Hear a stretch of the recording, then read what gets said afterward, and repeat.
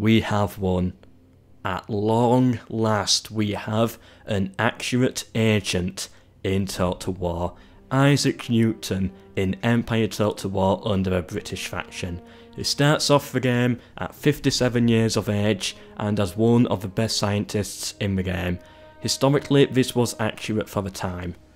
Welcome to Total War Profiled, a series that looks into what parts of the game development was inspired by history and at the end of the video we'll rank it based on its historical accuracy. It also looks into um, whether we might find some film inspiration or some other form of inspiration but usually that's much harder to find. Today we are for the first time taking a look into Empire Total War with the British. The game starts in 1700. Where to begin? Okay, let's start with the government. In game, they start off with William III as the monarch, which was accurate historically. Not only that, but it seems the government's cabinet is also accurate. Sidney Godolphin and John Egerton uh, were historically accurate characters that were in politics at the time and also appear in the game. I could not find references to all of them in my brief bit of research, but I'm going to assume that there is some historical backing behind um, all of them. For those who expect more research out of me, well, one of the guys is called John Smith. Uh, like, come on. Search John Smith online and 1 million Wikipedia pages pop up. There's only so much I can do. Wait a minute, now I think about it, I'm reading an old script. I actually did find out who this guy was. I'll have a picture of him on screen, but yeah, I actually did find out who this guy was, and it was accurate. My bad. Although it does seem that the candidates um, that you can promote up, if you ever want to, they seem to be fictional, however. Now onto the map. In game, they start off with Britain, Ireland, the Bahamas, Jamaica, Rupert's Land, Canada, uh, with the 13 colonies as a protectorate.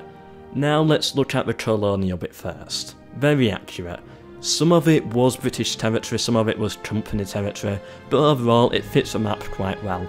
It would have been more accurate though, I think, if they had more land in Canada and maybe some small pockets in India, or some references to them being in India, but overall, I cannot complain.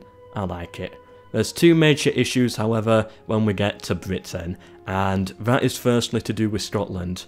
Scotland was an independent kingdom during the year 1700, and it only joined with England after 1707 with the Treaty of Union. So, although the game starts in 1700, it is actually 1707 when it comes to Britain. On a similar note, the flag uh, that is used in the game was adopted in 1707 and not used in 1700. However, to be honest, I am happy the devs concentrated more time on fixing the real issues of this game rather than its historical accuracy.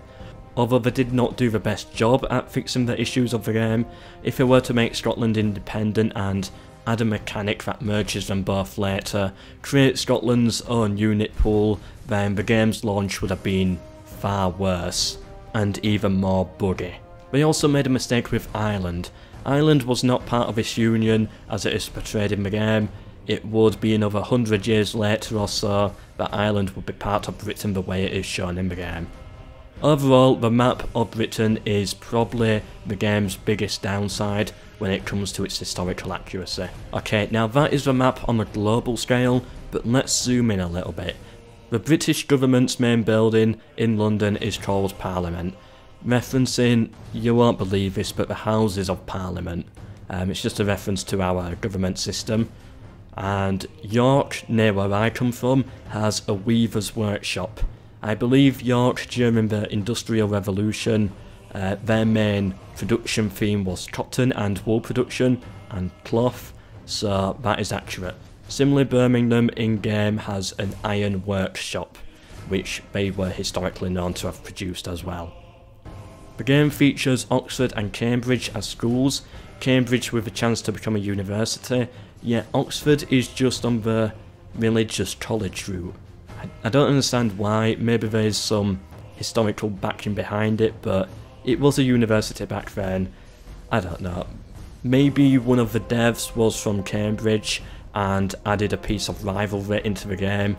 I, I don't know. Like mocking it, saying it's not a real university or something in the game. It's possible, but I doubt it. I don't know. The diplomacy.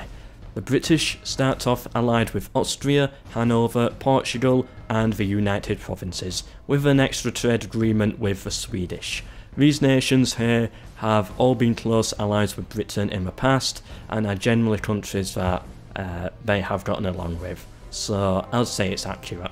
Some other interesting facts the main item for the British and the starting trade is sugar.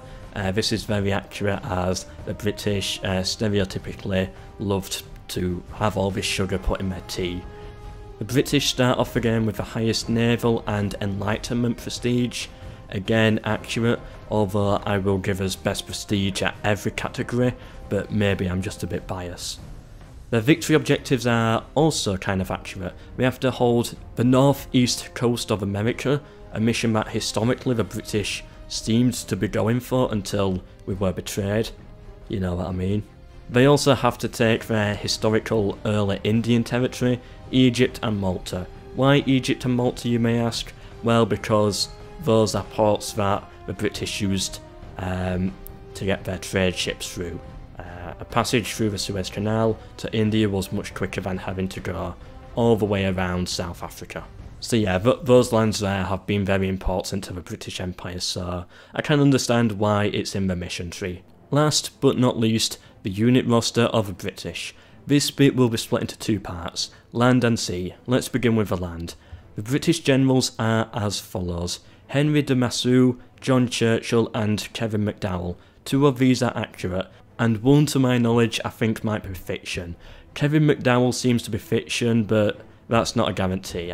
I just couldn't find any reference of him in my uh, very quick research, but given how much research is put into all the other ones and how everything else is accurate, I'm gonna I'll actually assume that yes, he is accurate, uh, but not famous enough to have his own Wikipedia page. Let's start off with a French one, Henry de Massue. Uh, he was French but exiled. He then spent a lot of his time as Commander in Chief in Ireland, which is in game where he and his army starts. He also has a retinue referencing his French background. John Churchill, the famous Duke of Marlborough, arguably the greatest general in British or English history of all time, but not as well known as some of the others. He is also accurate in game. The British Army also has the Yeomanry Cavalry, which were an accurate unit used, but not until 90 years after the start date, Still, this unit is covered in the game's historical span. We also have access to the Chasseurs Britanniques. Uh, this unit started in the year 1800 and was made up of French royalists and later deserters who fled or were exiled during the French Revolution.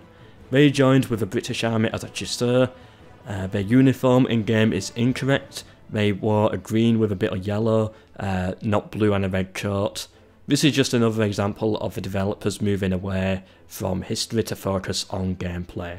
If the unit was to go by its historical colour, then players would often confuse them on the map for being part of a different faction because they're under a different weird looking uniform, so I can understand why they made that change to them.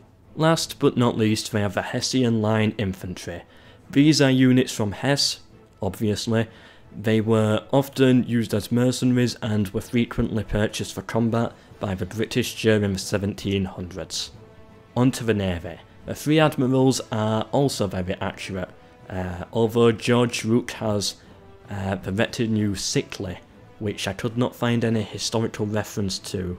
Um, imagine that, you joined the Navy and commanded a ship in a war. Then you die, and 200 years later, you come back as a ghost and see yourself in a Total War game. Nice, great, you might think, uh, that you're being shown in a Total War game 200 years later. Then you click on your character, and the first trait or retinue that, uh, that you see describes you as being sickly.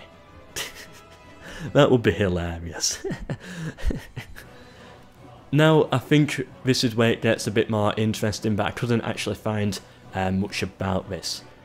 Each ship in the game has its own name. I had a look and it was only a brief look, as there was only so much research I had time to do for each video. Now I couldn't find any full concrete proof that any of these ship names are accurate, but I did find references to those names. Um, I believe that these ships, especially the ones uh, with an admiral in, are possibly accurate, but I can't back it up. But I think, if I had to guess, I think they are, as I did find references to them. By all means, please search them yourself and tell me in the comments what you found if you want to. That is everything, and wow, what a, what a great faction for this series. There's so much history here. This, in my original plan, was going to get 5 star rating for its historical accuracy, um, but I cannot let the fact they got Ireland and Scotland wrong just float away like that.